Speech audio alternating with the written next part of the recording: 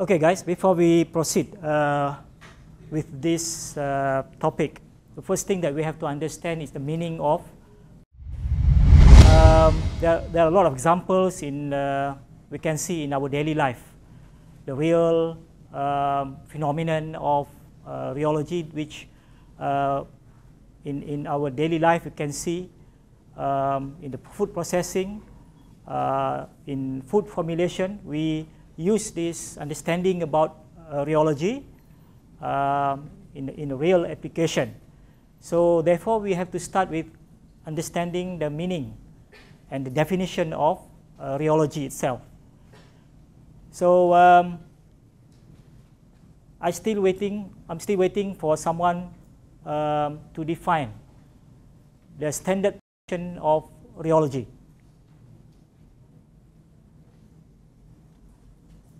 Why you are so quiet? Huh? Come on. Show that uh, you have read uh, something uh, on rheology.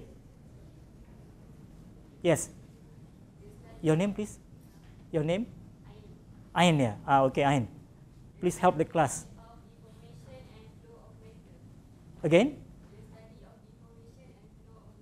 The study of deformation and flow of matter. Okay, does that make sense to you? Every word in, the, in that definition? Rheology is a study of deformation and, or can I say rheology is study of flow and deformation? Which one is correct? Rheology is a study of deformation and flow. Is that a standard uh, textbook definition? Or if I say the other way around, rheology is study of flow and deformation. So which one is correct?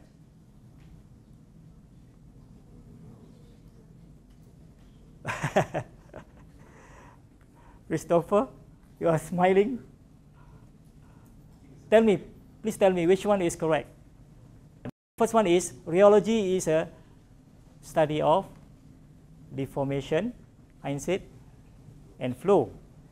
But I say rheology is a, is a study of flow and deformation. So which one is correct? Both. Both are correct. Oh, that's an easy way. Both are correct. Think, think. Yeah. This course is about thinking. Remember, I'm not giving you everything in the lecture.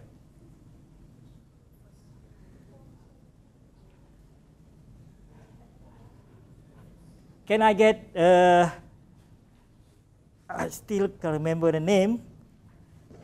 Um, let me get some name. Where's my Edmodo? Yeah. Where is Aziza? Aziza, you, you have not uh, uploaded your photo, so I'll give you until end of this week. Otherwise, I will kick you out from Edmodo. Okay? Okay, by today. Okay, Aziza, can you please come forward? So this is a penalty because you have not uploaded your photo. Okay, Aziza, come on, quick. Can you please come forward? Bagi jalan sikit dekat Aziza. Not because you, you are sitting in, in the front row as a penalty because you don't put your photo in Edmodo. Okay?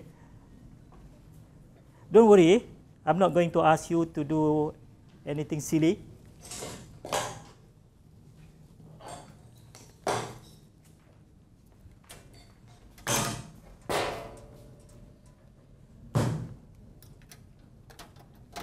Don't be afraid, eh, Aziza? Okay, Aziza, I want you to pick up that uh, well, this one maybe, the bottle. Okay. Okay, uh, and another one, both, and show to your colleague, to your friends. Okay. Now Aisha is holding on the left uh, sauce plum, and on the right is sauce chili Thai. Okay, I want to I want you to make a good guess. Which one do you think is more viscous? Huh? Uh, on the left, sauce plum, or on the right, eh, sorry, yeah, on the left, sauce, sauce plum, and on the right, sauce chili Thai. Left, right. Okay, how many say, how many of you say that on the left is more viscous?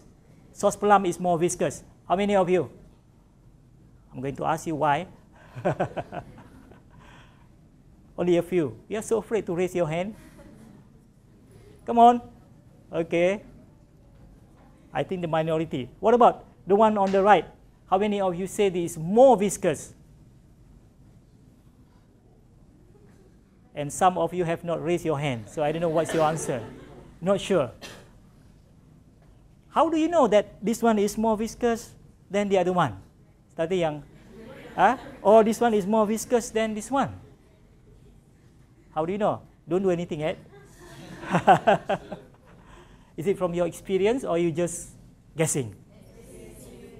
Just guessing, or maybe from your experience because you know previously maybe you know when you cook you use sauce plum or you use sauce chili.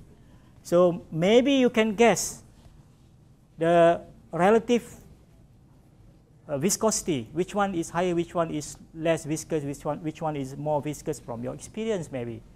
Or maybe you just guess.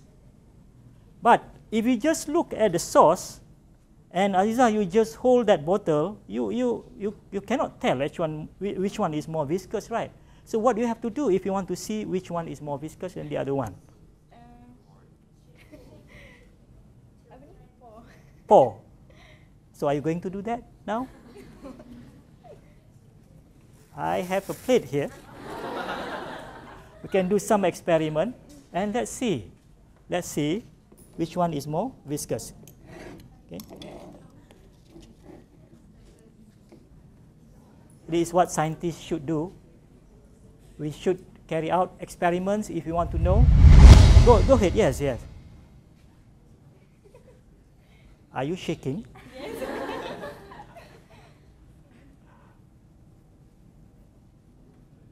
Okay, that's enough. That's my sauce. My wife said don't finish it. What about the other one? Remember, try to observe, eh? Observe.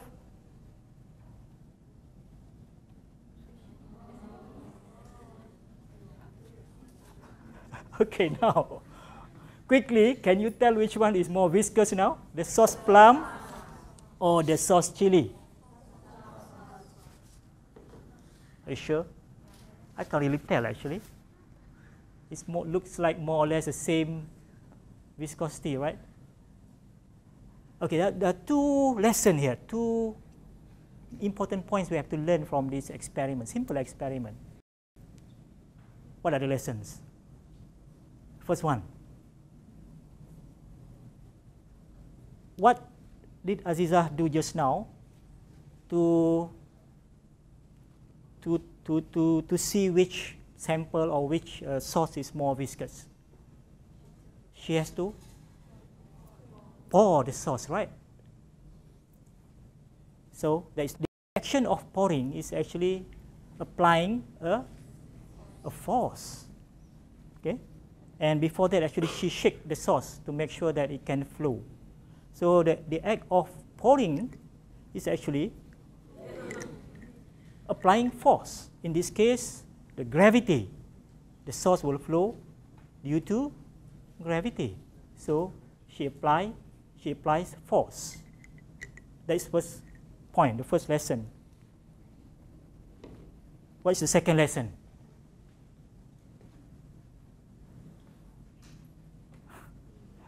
What is the second lesson from this uh, experiment?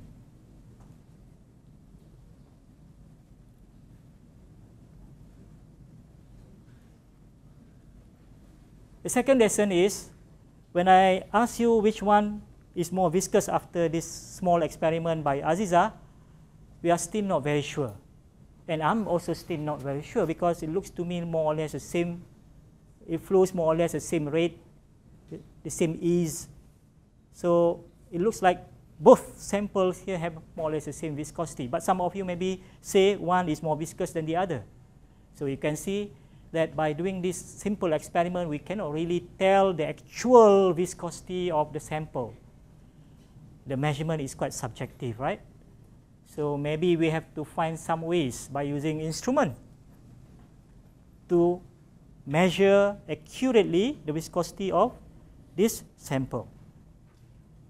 But another point that you may notice just now when you try to pour, it doesn't flow that readily, isn't it? This sample maybe uh, doesn't really illustrate the point, but if you find some uh, more viscous sample like tomato ketchup or tomato sauce, when you try to uh, pour, even after you, you know, uh, put it upside down like this, it still doesn't flow. So you have to apply some force or maybe more a stronger force. Or maybe sometimes you have to make sure this one is tight. sometimes you have to tap at the back. Okay? So what is important point that I want to uh, uh, I want to make it clear here is in order to in order for, for, for any material, any sample, uh, any food in this case, to start flowing, to flow, we have to apply a force. Before, the, before actually any material will, start to flow, it has to first deform. So in the, the correct definition of rheology is actually the sequence is deformation, then only flow. So rheology is a study of deformation and flow. Deformation come first, then only flow. Okay? So thank you very much, Aziza. So I expect you to upload your photo after the lecture or maybe before the end of this week. Okay? But let, let's uh, look at another, uh, after this uh, small experiment, another thing that you may observe on the plate. This, the, the sauce actually spread. Yeah, the sauce actually spread on the plate. But the amount of spreading is different. Now we can say uh, we, we, uh, another observation from this small experiment, this one looks like uh, it spreads more than this one. Let, us assume that the amount of sample that she poured just now more, more or less the same, but obvious, obviously this is actually less. But uh, assume that, assuming that um, uh, the, uh, the amount poured on this plate is the same, then we can look at the spread of the sample yeah. This one is spread more this one spread less. So maybe we can deduce we can deduce from this that this one has a lower viscosity than this one because this one spread more compared to this one. So these are empirical way or a simple way if we can do uh, we can uh, evaluate the viscosity of, of a sample but um, Again, the subject of rheology is about the flow, the flow behavior, how the materials flow under when, when, the, when the material is subjected to a force. So we must apply a force, at least in the form of gravity. But in most cases, we can apply what we call external force. Just now, when we pour or when we shake, that is actually uh, one example of external force. Okay? Then only we can deform something. Something that is uh, like this plate, flexible.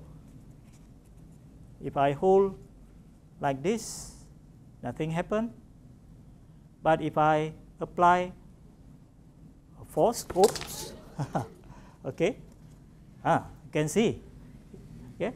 So you apply a force, then it start to move. If I apply this kind of force, it start to change, change the shape.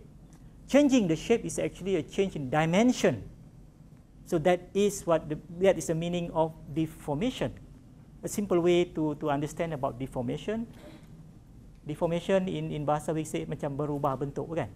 So when when the shape change because we apply external force. So that is deformation. Okay? But when we release the force if if the material is flexible enough then it will go will come back to the original shape. Okay?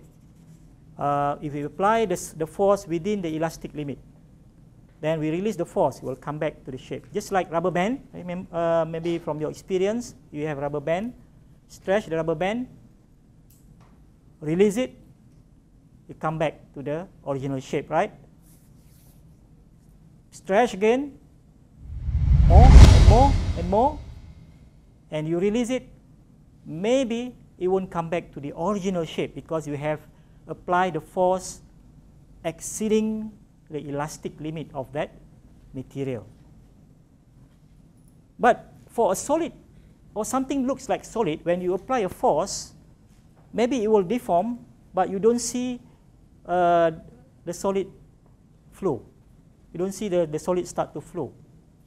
But when something like a liquid, like this, yeah, only very little force, we can see the water actually move easily. Yeah, uh, if we just pour and it will flow readily, easily. So when we apply deformation to a liquid sample, when we say liquid, we, we put in the inverted comma because um, later when you learn about when we learn about viscoelasticity, then we, we, we know that actually any material can behave like a solid or can behave like a liquid. It depends on the uh, force that we apply and also the time. Yeah, there are many factors. But of course now it looks like a liquid. When we apply a force in the form uh, for liquid, it can flow easily. So we, it will deform and flow. So the final results of the application of external force is actually flow for a liquid or maybe for a solid, it will just deform. And maybe it will come back to the original shape if the amount of applied force does not exceed the elastic limit of that solid material. Okay?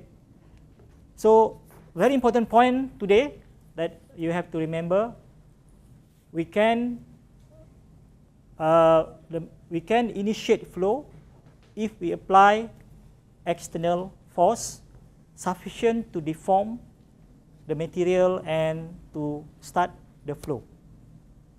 Okay, I'll give you another example. This, can you guess what is, what is this? Honey. Do you like honey? You don't like? Yeah, this honey is, um, some honey is very viscous. This, this particular one is not that viscous. But still, you can see when you sort of uh, move the bottle, what I'm doing now is actually I'm applying force. Okay, I'm applying a force. And it already start to sort of deform, maybe flow. Okay? What is another way of, of applying a force?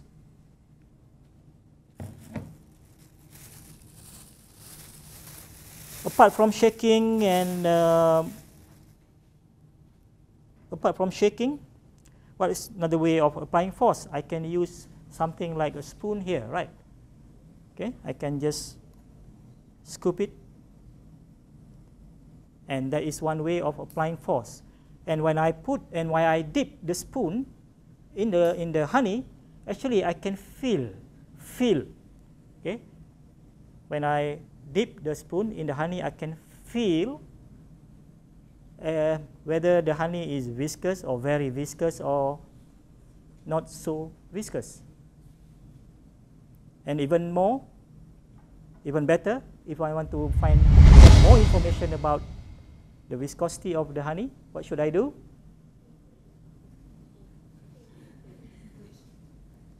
Hmm.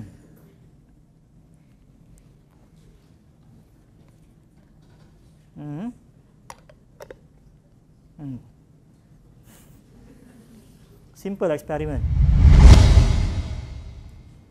when we put in the mouth and we try to feel the sample, so what is the term that we use to describe that?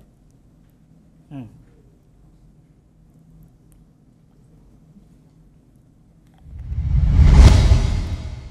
You say something just now? Mouth feel. Mouth feel. But it's just the feel. You can just estimate or guesstimate. Still, you cannot tell me what is the viscosity, right?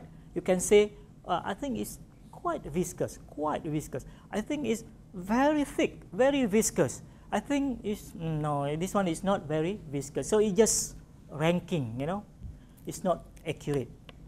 So later in this topic, we will learn about some of the instruments that we can use to give an objective, objective measurement about the rheological properties, about the viscosity of a sample. We can give numbers, can give figures. Okay?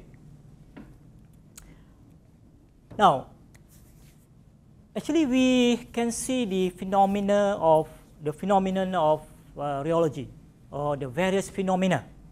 Okay, phenomenon is singular, phenomena is plural.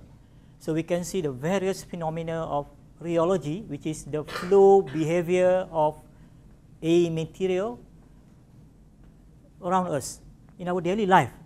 We experience actually, but without thinking that, oh, this is rheology, of course. But now when we learn about rheology, then maybe you should, should start to analyze every single thing that you do and how rheology applies.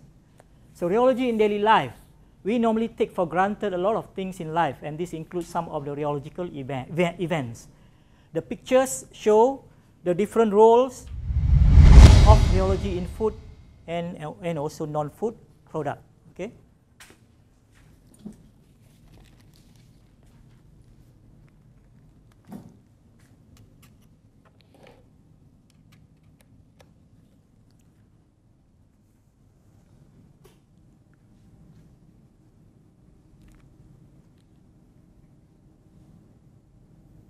Yeah.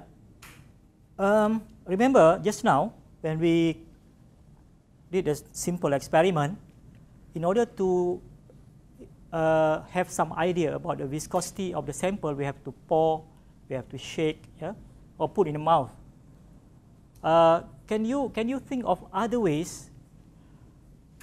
So when, when we did that, actually we apply external force, right? Okay. But can you think of other ways how we can apply external force. Shake is one, pour is another one. Sorry, squeeze. Yeah, squeeze. That's what you do every day, right?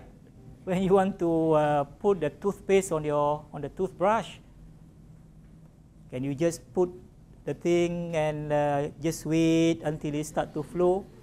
you'll spend hours in the bathroom. Nothing happened. You have to squeeze it slowly, right? So that is actually a control application of force.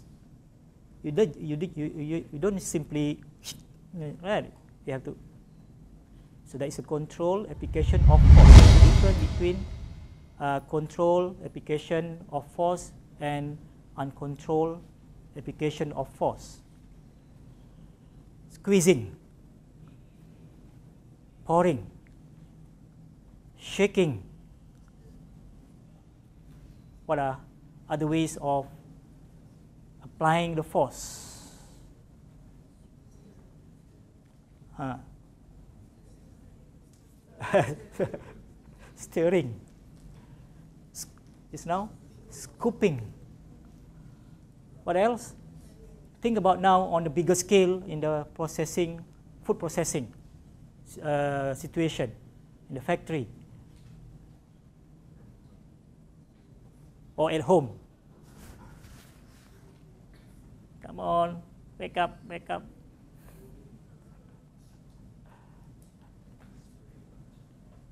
Hmm?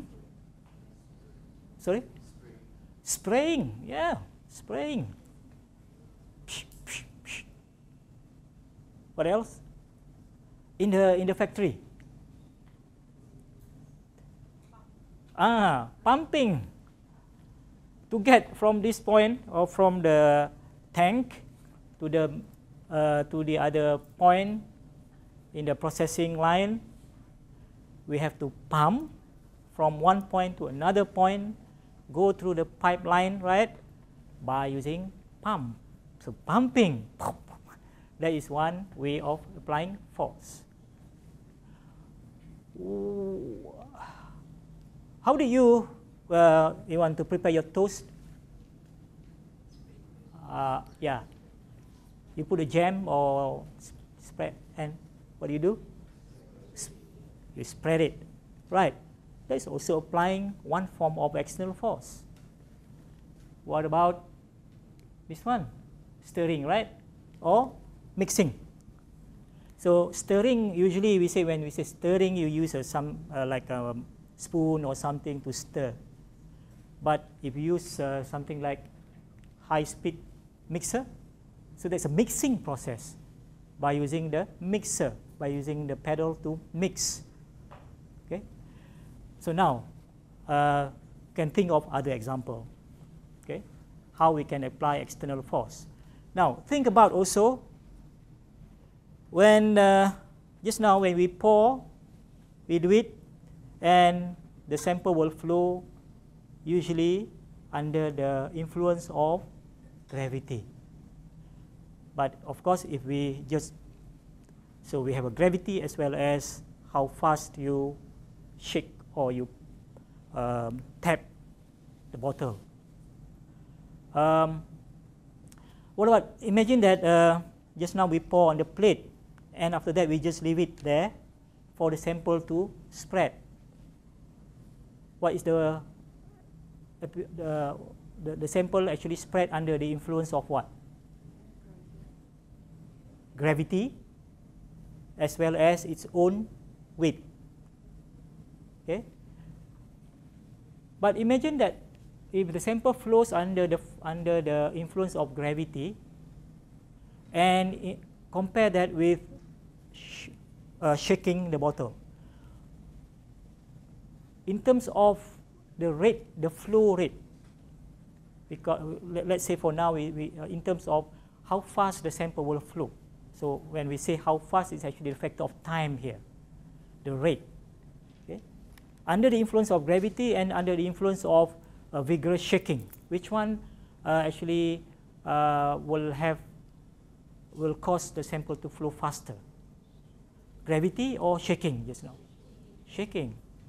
So uh, when later when we look at the definition of viscosity and how of and, and how we measure viscosity, uh, not only we look at the force that we apply, but we also look at the rate, the sample flow, the samples, the sample flows. Okay. Now,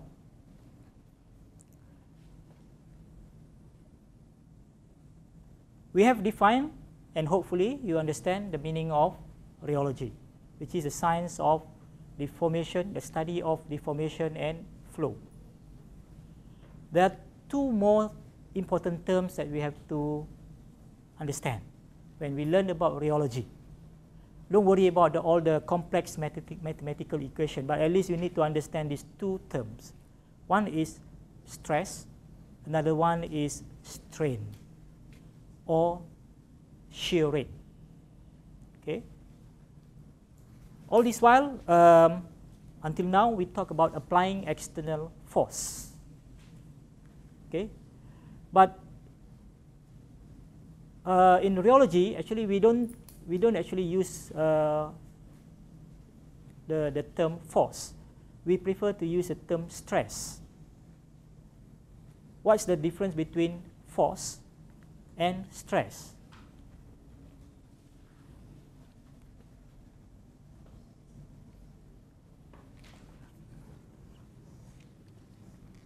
did I ask you to read the notes or the article. So I'm sure I'm sure you have uh, you have uh, come across this term, right?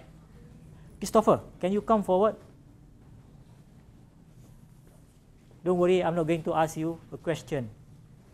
But even if I ask you a question, you can answer, right? This is a smart student. I call Christopher forward here, in front here, because uh, he has a, well, bigger, big, he's bigger than me, right? Okay, small experiment, Christopher. Okay, now, on my right lah, because my, my right hand is stronger. I want to apply a force. Yeah? Uh, okay, Let, let's say I apply a force 10 Newton. 10 Newton. okay? That is 10 Newton. Okay. How do you feel? Okay, eh? no problem. Yeah. 10, 10 Newton. And now I'm going to apply the same 10 Newton, but okay, uh, using this one. Same 10 Newton. Okay. So which one? Which one? Uh, which uh, just now? This one and this one. Which one you feel higher intensity? The smaller. This, this one, right? So these are a simple and uh, silly demonstration, but you get the idea. If you talk about force, if I apply 10 Newton force with this surface area and 10 Newton force with a much smaller surface area, so 10 Newton force equal to F. Let's say we use a symbol F for force. But the surface area, the, the, this one is bigger, this one is smaller, F divided by A. By using this one, the value is higher. The intensity force is higher, right? When F divided by a smaller value, the first one is bigger, the second one is higher. Okay, thank you, Christopher. So, so in rheology, actually, we use a term stress, which is the intensity of force. How strong is the force that we apply? We divide by the surface area. F divided by A. So we talk about stress in rheology, not force. Because we normalize the force. Yeah, the term normalize, normalizing, normalizing mean, means we divide by whatever, the surface area, the length, yeah, so that we can calculate the force in Newton per the square, the, the, the square of the surface area. In this case, maybe meter square. So force divide uh, Newton force divide by meter square, force uh, Newton per meter square. That is stress. So we apply stress. From now onwards, we say we apply external, uh, we, uh, we apply stress. We apply external force divided by the surface area where we apply that force. So that is the stress. What happens when we apply the stress?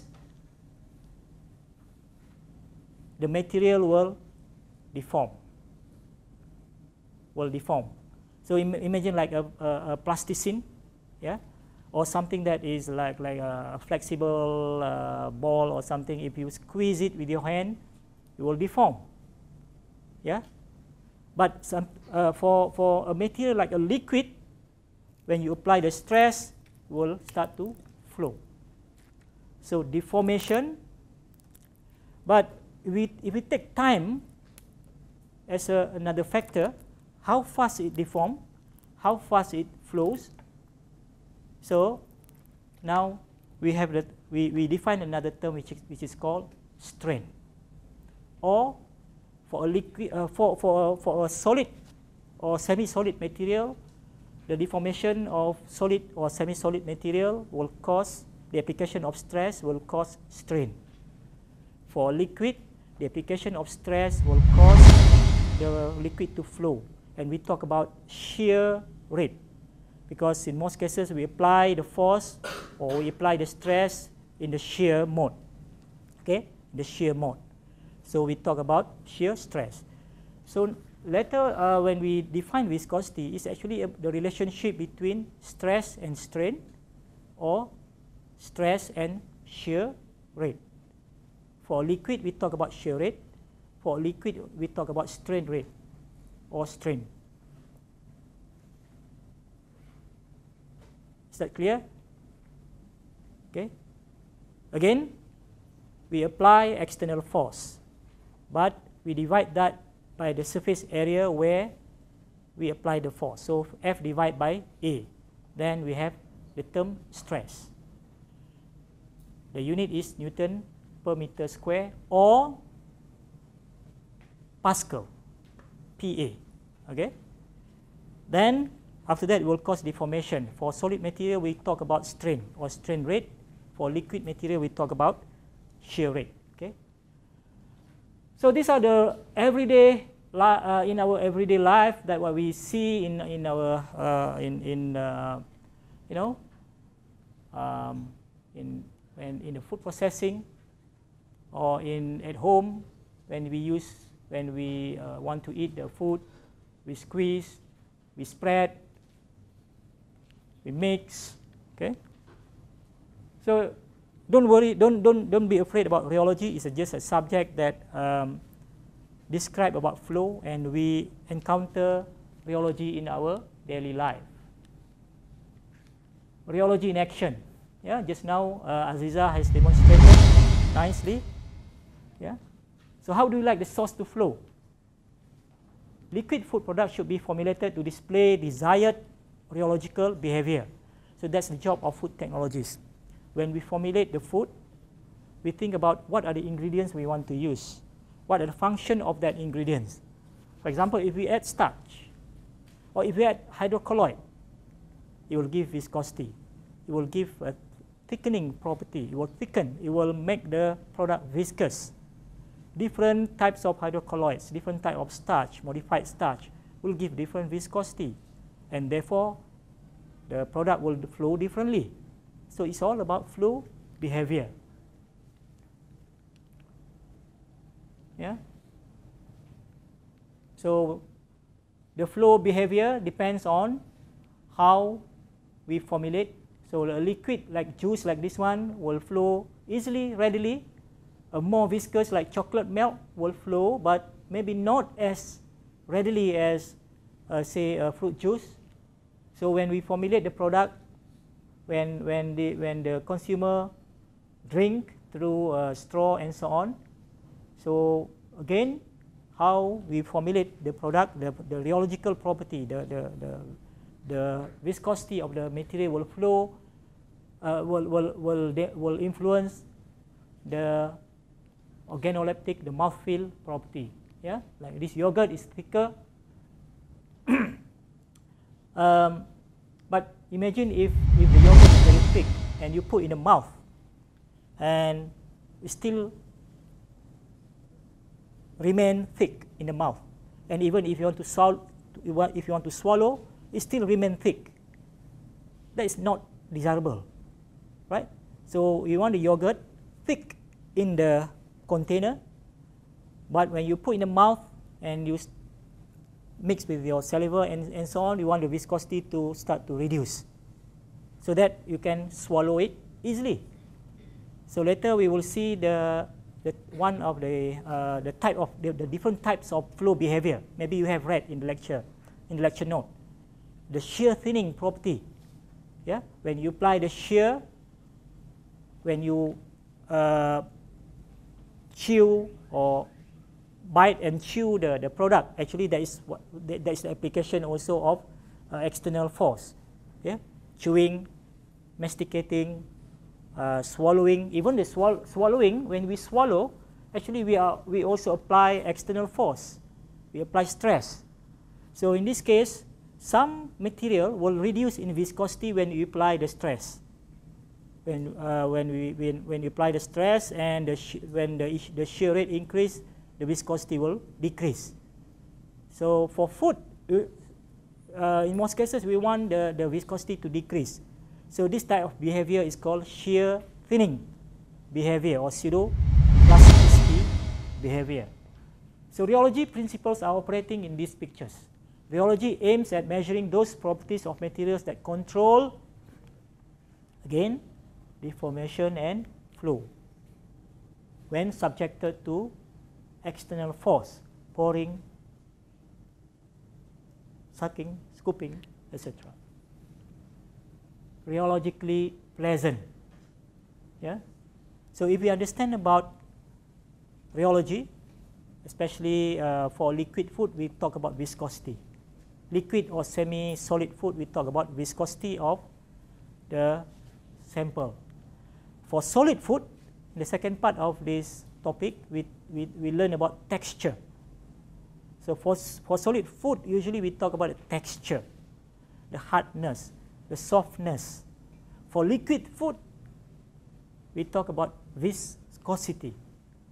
So if we, if you understand viscosity, and we, if you understand uh, when, you in, when you learn food ingredients, you know what kind of ingredients can give viscosity, can have a shear thinning property and so on. So you will formulate, you will choose the ingredients, the combination of ingredients to formulate the product so that the product will have a pleasant